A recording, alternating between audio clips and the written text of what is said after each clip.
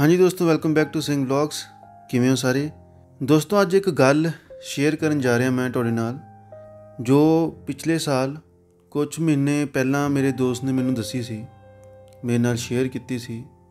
ਮੈਂ ਇਹ ਜਾਣ ਕੇ ਤੁਹਾਡੇ ਨਾਲ ਸ਼ੇਅਰ ਨਹੀਂ ਸੀ ਕਰ ਰਿਹਾ, ਪਰ ਹੁਣ ਮੈਂ ਸੋਚਿਆ ਕਿ ਕਰਨੀ ਚਾਹੀਦੀ ਹੈ ਕਿਉਂਕਿ ਰਹਿ ਨਹੀਂ ਹੋਇਆ, ਮੇਰਾ ਮਨ ਕਰਦਾ ਸੀ। ਕਿਉਂਕਿ ਦੋਸਤੋ, ਤੁਹਾਨੂੰ ਪਤਾ ਸਪੈਸ਼ਲੀ ਆਪਣੇ ਪੁਰਾਣੇ ਦੋਸਤਾਂ ਨੂੰ, ਕਿ ਮੈਂ ਜਾਣਬੁੱਝ ਕੇ ਤਾਂ ਕਦੇ ਵੀ ਤਾਰੀਫ ਕੀਤੀ ਨਹੀਂ। ਲੇਕਿਨ ਜੋ ਸੱਚ ਆ, ਉਹ ਆਪਣੇ ਆਪ ਹੀ ਇੱਕ ਤਾਰੀਫ ਆ ਤੇ ਆਪਣੇ ਆਪ ਮੂੰਹ ਮਿੱਠੂ ਵੀ ਨਹੀਂ ਬਣੀਦਾ, ਹਨਾ? ਇਸ ਕਰਕੇ, ਲੇਕਿਨ ਅੱਜ ਇੱਕ ਗੱਲ ਆ ਤੇ ਨਾ ਹੀ ਮੈਂ ਕੋਈ ਐਦਾਂ ਦੀ ਹੈਡਿੰਗ ਕੋਈ ਲਿਖਦਾ, ਕੋਈ ਐਦਾਂ ਦਾ ਕੈਪਸ਼ਨ ਜੋ ਬਹੁਤ ਉਲਟੇ ਸਿੱਧੇ ਤੁਸੀਂ ਕੁਝ ਚੈਨਲਸ ਤੇ ਦੇਖੇ ਹੋਣੇ ਆ, ਜਿਹੜੇ ਕਮੈਂਟ ਆਫ ਕਰਕੇ ਵੀ ਵੀਡੀਓ ਪਾਉਂਦੇ ਆ। ਕਈ ਦੋਸਤਾਂ ਨੇ ਮੈਨੂੰ ਇੰਸਟਾਗ੍ਰam ਤੇ ਵੀ ਉਹ ਜੀ ਵੀਡੀਓਜ਼ ਭੇਜੀਆਂ ਨੇ ਕਿ ਆ ਦੇਖੋ ਕੀ ਕਰ ਰਿਹਾ। ਕਿਹੋ ਜਿਹੇ ਕਿਹੋ ਜਿਹੇ ਟਾਈਟਲ ਦੇ ਰਿਹਾ ਵਾ।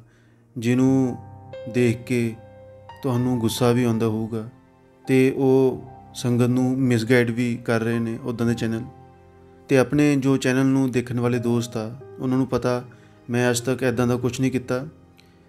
ਲੇਕਿਨ ਹੁਣ ਮੈਂ ਦੋਸਤੋ, ਉਹ ਗੱਲ ਕਈ ਵਾਰ ਮੈਂ ਸੋਚਿਆ, ਤੁਹਾਨੂੰ ਦੱਸਣ ਦੀ ਕਿਉਂਕਿ ਅੰਦਰ ਇੱਕ ਮਨ ਕਰਦਾ ਹੁੰਦਾ ਨਾ ਫੀਲਿੰਗ ਜਿਹੀ ਆਉਂਦੀ ਹੁੰਦੀ ਹੈ। ਜੇ ਹੁਣ ਵੀ ਉਹ ਗੱਲ ਮੈਂ ਸੋਚਾਂ ਤਾਂ ਮੈਂ ਬਹੁਤ ਜ਼ਿਆਦਾ ਐਕਸਾਈਟਿਡ ਹੋ ਜਾਂਦਾ ਹਾਂ ਤੇ ਰੋਂਗਟੇ ਵੀ ਕਈ ਵਾਰ ਖੜੇ ਹੋ ਜਾਂਦੇ ਆ। ਤਾਂ ਆਪਾਂ ਗੱਲ ਸ਼ੁਰੂ ਕਰਦੇ ਹਾਂ ਦੋਸਤੋ ਕੁਝ ਮਹੀਨੇ ਪਹਿਲਾਂ ਇੱਕ ਦੋਸਤ ਆ ਮੇਰਾ, ਉਹ ਚੰਡੀਗੜ੍ਹ ਗਿਆ ਸੀ। ਜਾਂਦਾ ਰਹਿੰਦਾ ਵਾ ਕਿਸੇ ਕੰਮ ਤੇ ਤੇ ਬੁਲਟ ਤੇ ਸੀ, ਤੇ ਗਰਮੀ ਦਾ ਮੌਸਮ ਸੀ। 7-8 ਮਹੀਨੇ ਪਹਿਲਾਂ ਦੀ ਗੱਲ ਆ। ਉਹ ਆਪਣੇ ਕੰਮ ਤੋਂ ਆ ਰਿਹਾ ਸੀ, ਚੰਡੀਗੜ੍ਹ ਤੋਂ ਬਾਹਰ ਹੀ ਨਿਕਲ ਰਿਹਾ ਸੀ। ਤੇ ਦੋਸਤੋ, ਉਹਨੇ ਦੇਖਿਆ, ਉਹਦੇ ਕੋਲ 'ਚ ਹੀ ਇੱਕ ਕਾਫਿਲਾ ਗਿਆ। ਗੱਡੀਆਂ ਦਾ। ਮੈਂ ਕੁਝ ਗੱਲਾਂ ਨੇ ਦੋਸਤੋ ਜੋ ਇਨਡਾਇਰੈਕਟਲੀ ਬੋਲੂੰਗਾ। ਉਹ ਦੇਖ ਰਿਹਾ ਸੀ ਕਿ ਇਹ ਕੋਈ ਵੀਆਈਪੀ ਦੇਖਣ ਨੂੰ ਲੱਗ ਰਿਹਾ। ਤਾਂ ਇਹ ਕੌਣ ਆ? ਸੋਚ ਰਿਹਾ ਸੀ ਕਿ ਅੱਗੇ ਜਦ ਉਹਨੇ ਪਿੱਛਾ ਵੀ ਕੀਤਾ, ਉਹ ਮੈਨੂੰ ਦੱਸ ਰਿਹਾ ਸੀ ਕਿ ਮੈਂ ਥੋੜਾ ਜਿਹਾ ਬੁਲਟ ਤੇਜ਼ ਚਲਾਇਆ ਆਪਣਾ। ਤੇ ਚੰਡੀਗੜ੍ਹ ਵਿੱਚ ਤੁਹਾਨੂੰ ਪਤਾ ਟ੍ਰੈਫਿਕ ਲਾਈਟਸ ਬਹੁਤ ਨੇ। ਤੇ ਅੱਗੇ ਜਾ ਕੇ ਟ੍ਰੈਫਿਕ ਲਾਈਟ ਤੇ ਉਹ ਕਾਫਿਲਾ ਰੁਕ ਗਿਆ। ਫਿਰ ਉਹਨੇ ਸੋਚਿਆ ਕਿ ਮੈਂ ਹੁਣ ਜਾ ਕੇ ਦੇਖਾਂ ਕਿ ਇਹ ਕੌਣ ਸੀ। ਉਹਨੇ ਵੀ ਆਪਣਾ ਬੁਲੇਟ ਰੋਕ ਲਿਆ। ਉਹ ਧਿਆਨ ਨਾਲ ਦੇਖੀ ਜਾ ਰਿਹਾ ਸੀ ਕਿ ਮੈਨੂੰ ਪਤਾ ਲੱਗੇ। ਉਹਨੇ ਮੈਨੂੰ ਹੋਰ ਵੀ ਗੱਲਾਂ ਸਮਝਾਈਆਂ ਕਿ ਕਿੰਨੀਆਂ ਗੱਡੀਆਂ ਸੀ, ਇਹ ਉਹ ਕਿਹੜੀਆਂ ਕਿਹੜੀਆਂ ਗੱਡੀਆਂ ਸੀਗੀਆਂ, ਪਰ ਉਹ ਮੈਂ ਤੁਹਾਨੂੰ ਨਹੀਂ ਦੱਸ ਰਿਹਾ। ਤੇ ਸਭ ਤੋਂ ਪਹਿਲੀ ਗੱਲ ਜੋ ਨੋਟਿਸ ਕਰਨ ਵਾਲੀ ਹੈ ਦੋਸਤੋ, ਤੁਸੀਂ ਇਹ ਦੇਖੋ, ਅੱਬਾ ਜੀ ਦੀ ਹੰਬਲਨੈਸ ਹਿਮਰਤਾ, ਕਿ ਉਹਨਾਂ ਦਾ ਪੂਰਾ ਕਾਫਿਲਾ ਇੱਕ ਟ੍ਰੈਫਿਕ ਲਾਈਟ ਦੇ ਉੱਤੇ ਰੁਕ ਗਿਆ। ਨਹੀਂ ਤਾਂ ਤੁਸੀਂ ਆਮ ਦੇਖਿਆ ਹੋਣਾ ਕਿ ਕੋਈ ਵੀ ਵੀਆਈਪੀ ਹੋਵੇ ਜਾਂ ਕੋਈ ਪੋਲੀਟੀਸ਼ੀਅਨ ਕੋਈ ਵੀ ਟ੍ਰੈਫਿਕ ਲਾਈਟ ਤੇ ਰੁਕਦਾ ਨਹੀਂ ਫਰਸਟ ਪੁਆਇੰਟ ਤੇ ਫਿਰ ਉਸ ਦੋਸਤ ਨੇ ਉਹ ਆਪਣਾ ਐਕਸਪੀਰੀਅੰਸ ਬਿਆਨ ਕਰ ਰਿਹਾ ਵਾ। ਦੋਸਤੋ, ਉਹਨੇ ਮੈਨੂੰ ਗੱਡੀ ਦਾ ਪੂਰਾ ਮਾਡਲ ਦੱਸਿਆ। ਸਾਨੂੰ ਸਾਰਿਆਂ ਨੂੰ ਪਤਾ ਉਹਨਾਂ ਕੋਲ ਕਿਹੜੀ ਗੱਡੀ ਹੁੰਦੀ ਹੈ ਲੇਕਿਨ ਮੇਰੇ ਦੋਸਤ ਨੂੰ ਗੱਡੀ ਦਾ ਜੋ ਮਾਡਲ ਆ ਐਨੀ ਡੀਪਲੀ ਉਹਦੇ ਬਾਰੇ ਇਨਫੋਰਮੇਸ਼ਨ ਉਹਨੇ ਮੈਨੂੰ ਦਿੱਤੀ। ਕਿਉਂ? ਕਿਉਂਕਿ ਉਹਦੇ ਕੋਲ ਖੁਦ ਕੋਲ ਇੱਕ ਲਗਜ਼ਰੀ ਗੱਡੀ ਹੈਗੀ ਹੈ ਜੋ ਕਿ ਬਹੁਤ ਮਹਿੰਗੀ ਹੈ ਉਦਾਂ ਤਾਂ ਪੰਜ ਛੇ ਗੱਡੀਆਂ ਹੈਗੀਆਂ ਨੇ, ਤਾਂ ਉਹਨੂੰ ਪੂਰੀ ਗੱਡੀਆਂ ਬਾਰੇ ਇਨਫੋਰਮੇਸ਼ਨ ਹੈਗੀ ਹੈ, ਸ਼ੌਂਕ ਹੈਗਾ ਵਾ।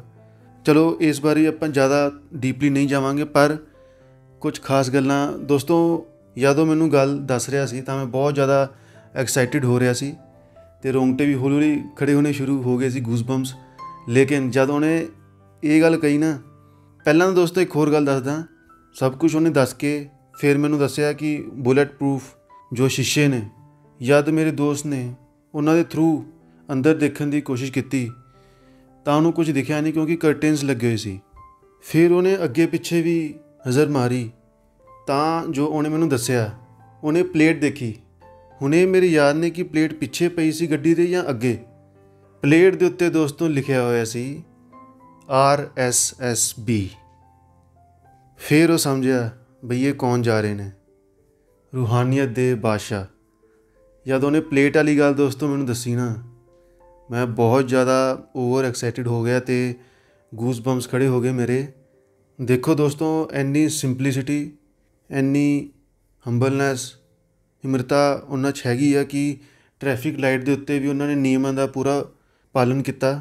ਗੱਲਾਂ ਤਾਂ ਹੋਰ ਵੀ ਉਹਨੇ ਬਹੁਤ ਦੱਸੀਆਂ, ਲੇਕਿਨ ਮੈਂ ਔਨ ਕੈਮਰਾ ਦੱਸ ਨਹੀਂ ਸਕਦਾ। ਤੇ ਐਦਾਂ ਹੀ ਇੱਕ ਵਾਰ ਪਿਛਲੇ ਸਾਲ ਹੀ 1 ਸਾਲ ਹੋ ਗਿਆ ਪੂਰਾ ਮੈਨੂੰ ਯਾਦ ਆ, ਜਦ ਮੈਂ ਵੀਡੀਓ ਇੱਕ ਬਣਾਈ ਸੀ, ਜਦ ਮੈਂ ਡੇਰਾ ਬਿਆਸੀ ਜਾ ਰਿਹਾ ਸੀ, ਇੱਕ ਬਿਆਸ ਰਿਵਰ ਦੀ ਵੀਡੀਓ ਬਣਾਉਣ ਵਲੌਗ ਬਣਾਉਣ, ਜੰਗਲ ਦਾ ਵੀ। ਤੇ ਮੇਰੇ ਕੋਲ 'ਚ ਹੀ ਦੋਸਤੋ, ਜੋ ਬਾਬਾ ਜੀ ਹਿਮਾਚਲ 'ਚੋਂ ਆ ਰਹੇ ਸੀ, ਬਾਬਾ ਜੀ ਮੇਰੇ ਕੋਲ 'ਚ ਹੀ ਨਿਕਲੇ ਸੀ, ਉਹਨਾਂ ਦੀ ਗੱਡੀਆਂ। ਤੇ ਮੈਂ ਵੀ ਦੋਸਤੋ, ਤੁਹਾਨੂੰ ਪਤਾ, ਉਸ ਵਲੌਗ 'ਚ ਤੁਸੀਂ ਦੇਖ ਸਕਦੇ ਹੋ, ਮੈਂ ਵੀ ਬੁਲੇਟ ਤੇ ਜਾ ਰਿਹਾ ਸੀ। ਤੇ ਅੱਗੇ ਜਾ ਕੇ ਜਦ ਮੈਂ ਡੇਰਾ ਬਿਆਸ ਪਹੁੰਚਿਆ ਸੀ, ਤਾਂ ਕੁਝ ਦੋਸਤਾਂ ਨੇ ਮੈਨੂੰ ਪਹਿਚਾਨ ਲਿਆ ਸੀ। ਉਹ ਵੀ ਮੈਂ ਉਸ ਵੀਡੀਓ ਵਿੱਚ ਉਹਨਾਂ ਨੂੰ ਵੀ ਦਿਖਾਇਆ ਵਾ, ਉਹਨਾਂ ਨਾਲ ਵੀ ਗੱਲਬਾਤ ਕੀਤੀ ਹੈ ਤੇ ਆ ਸੇਮ ਹੀ ਇਨਸੀਡੈਂਟ ਤੁਸੀਂ ਕਹਿ ਸਕਦੇ ਹੋ ਦੋਸਤ ਨਾਲ ਹੋਇਆ। ਬਟ ਉਹਦਾ ਮੋਰ ਕਲੋਜ਼ਲੀ ਹੋਇਆ ਕਿਉਂਕਿ ਉਹ ਰੁਕੇ ਸੀ ਉੱਥੇ। ਦੋਸਤੋ, ਹੁਣ ਗੱਲ ਪਤਾ ਕੀ ਹੈ ਗੱਲ ਆ ਜਾਂਦੀ ਹੈ ਫੀਲਿੰਗ ਦੀ। ਜਿਹਨੂੰ ਲੈ ਕੇ ਮੈਂ ਤੁਹਾਨੂੰ ਇਹ ਗੱਲ ਦੱਸ ਰਿਹਾ। ਤੁਸੀਂ ਖੁਦ ਸੋਚੋ, ਆਪਣੇ ਆਪ ਨੂੰ ਉਸ ਜਗ੍ਹਾ ਤੇ ਰੱਖ ਕੇ ਦੇਖੋ ਕਿ ਤੁਸੀਂ ਕਿਤੇ ਗਏ ਹੋ ਜਾਂ ਬਾਈਕ ਤੇ ਹੋ ਜਾਂ ਕਾਰ ਵਿੱਚ। ਸਪੈਸ਼ਲੀ ਜਦ ਬਾਈਕ ਤੇ ਹੋਵੋ, ਫਿਰ ਤੁਹਾਡੇ ਕੋਲ 'ਚ ਹੀ ਅੱਬਾ ਜੀ ਨਿਕਲਣ, ਤੁਹਾਡੇ ਬਿਲਕੁਲ ਕੋਲ 'ਚ ਹੀ ਜਾਣ, ਤਾਂ ਤੁਹਾਨੂੰ ਕਿਵੇਂ ਲੱਗੂਗਾ? ਕਿਵੇਂ ਤੁਹਾਨੂੰ ਮਹਿਸੂਸ ਹੋਊਗਾ? ਤੁਸੀਂ ਬਹੁਤ ਜ਼ਿਆਦਾ ਐਕਸਾਈਟਿਡ ਹੋਵੋਗੇ। ਤੇ ਦੋਸਤੋ, ਇਹ ਗੱਲ ਤਾਂ ਚਲੋ ਮੈਂ ਤੁਹਾਨੂੰ ਸ਼ਾਰਟ ਵਿੱਚ ਦੱਸਤੀ, ਕਾਫੀ ਗੱਲਾਂ ਜੋ ਤੁਹਾਨੂੰ ਮੈਂ ਦੱਸੀਆਂ ਨਹੀਂ ਹੋਰ ਵੀ, ਉਹ ਫਿਰ ਐਦਾਂ ਹੋ ਜਾਂਦਾ ਨਾ, ਜਿਵੇਂ ਜਿਵੇਂ ਆਪਣੇ ਮੂੰਹ ਮਿੱਠੂ ਜਿਵੇਂ ਹੁੰਦਾ ਨਾ, ਉਹ ਕਰਨਾ ਨਹੀਂ ਚਾਹੀਦਾ। ਤੇ ਹੋਰ ਵੀ ਕੁਝ ਰੀਜ਼ਨ ਹੁੰਦੇ ਆ। ਸਾਰੀ ਗੱਲ ਨਾ ਦੱਸਣ ਦੇ। ਤੇ ਜਿਵੇਂ ਉਹ ਗੱਡੀ ਬਾਰੇ ਪੂਰੀ ਨੌਲੇਜ ਰੱਖਦਾ ਤੇ ਜਿਸ ਤਰੀਕੇ ਨਾਲ ਉਹਨੇ ਮੈਨੂੰ ਦੱਸਿਆ, ਮੈਨੂੰ ਸੁਣ ਕੇ ਬਹੁਤ ਵਧੀਆ ਲੱਗਿਆ। ਮੈਂ ਉਹਨਾਂ ਬੈਟਰ ਐਕਸਪਲੇਨ ਨਹੀਂ ਕਰ ਪਾਇਆ। ਇੱਕ ਇੱਕ ਉਹਨੇ ਗੱਲ ਦੱਸੀ, ਉਹ ਫਲਾਣਾ, ਉਹ ਤਿਮਕਾ। ਤਾਂ ਮੈਨੂੰ ਸੁਣ ਕੇ ਬਹੁਤ ਮਜ਼ਾ ਆਇਆ ਸੀ। ਦੋਸਤੋ, ਮੈਂ ਜੋ ਗੱਲਾਂ ਦੱਸ ਸਕਦਾ ਸੀ, ਉਹੀ ਦਸੀਆਂ ਨੇ। ਤੇ ਜੋ ਆਪਾਂ ਆਮ ਵੀਡੀਓਜ਼ ਵਿੱਚ ਦੇਖਦੇ ਹਾਂ, ਜੋ ਕਾਫੀ ਵਾਇਰਲ ਹੁੰਦੀਆਂ ਨੇ ਰੋਜ਼, ਇਹ ਤਾਂ ਮੈਂ ਤੁਹਾਨੂੰ ਦੱਸਿਆ ਹੀ ਹੈ ਸਿਰਫ ਮਾੜੀ ਮੋਟੀ ਗੱਲ ਤੇ ਵੀਡੀਓਜ਼ ਵਿੱਚ ਕਲਿੱਪਸ ਵਿੱਚ ਆਪਾਂ ਰੋਜ਼ ਦੇਖਦੇ ਹਾਂ। ਇਸ ਕਰਕੇ ਮੈਂ ਸੋਚਿਆ ਤੁਹਾਨੂੰ ਦੱਸਣਾ ਚਾਹੀਦਾ। ਸਿਰਫ ਆਪਣੀ ਫੀਲਿੰਗ ਕਰਕੇ, ਜੋ ਭਾਵ ਆ, ਉਹਦੇ ਕਰਕੇ। ਜਿਵੇਂ ਤੁਹਾਨੂੰ ਪਤਾ ਮੈਂ ਹੋਰ ਵੀ ਆਪਣੇ ਐਦਾਂ ਦੇ ਐਕਸਪੀਰੀਅੰਸ ਸ਼ੇਅਰ ਕਰਦਾ ਰਹਿਣਾ ਤੇ ਆਈ ਹੋਪ ਕਿ ਤੁਹਾਨੂੰ ਵੀ ਸੁਣ ਕੇ ਬਹੁਤ ਵਧੀਆ ਲੱਗਿਆ ਹੋਊਗਾ। ਤਾਂ ਠੀਕ ਆ ਜੀ, ਮਿਲਦਾ ਅਗਲੀ ਵੀਡੀਓ 'ਚ। ਟੇਕ ਕੇਅਰ ਬਾਏ ਬਾਏ ਤੁਝ ਬਿਨ ਸੁਰਤ ਕਰੇ ਮੇਰੀ ਦਰਸ਼ਨ ਦੀਜੇ ਖੋਲੇ ਕੀ ਵਾਰੇ ਦਰਸ਼ਨ ਦੀਜੇ ਦਰਸ਼ਨ ਦੀਜੇ दर्शन दीजे। खोले कुल किवा